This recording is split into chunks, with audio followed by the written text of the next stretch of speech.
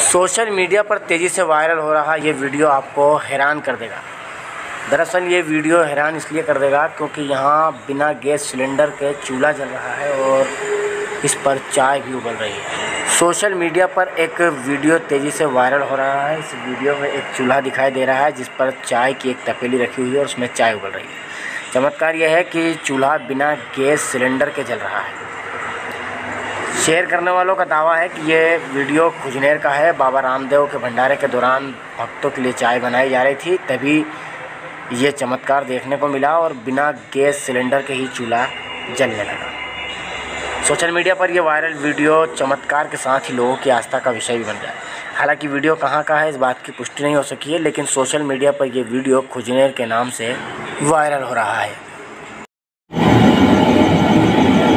है, बाबा का चमत्कार रेगुलेटर ये पड़ा है, ये इसकी नली जा रही है। और ये फिर भी गैस चालू है। आप देखते रहिए, ये इसकी नली होने के बाद भी यहाँ पे बाबा के भंडारे में चल रही है नली। ये गैस ये गैस चल रही है बाबा के भंडारे में बिना किसी टंकी के। ये सब चमक का आप पहली बार देख रहे होंगे, ये देखिए। ये बिना टंकी से गैस चलती हुई।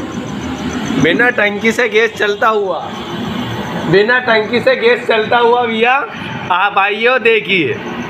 ये रेगुलेटर बड़ा है और ये इसके नली और ये गैस भट्टा और ये गैस चलता हुआ। ये देखिए। और ये टंकी भी है, बिना रेगुलेटर के है। ये, और ये टंकी भी बिना रेगुलेटर के है।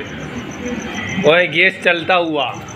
ये रेगुलेटर पड़ा हुआ है वो नली जाती हुई और गैस चलता हुआ।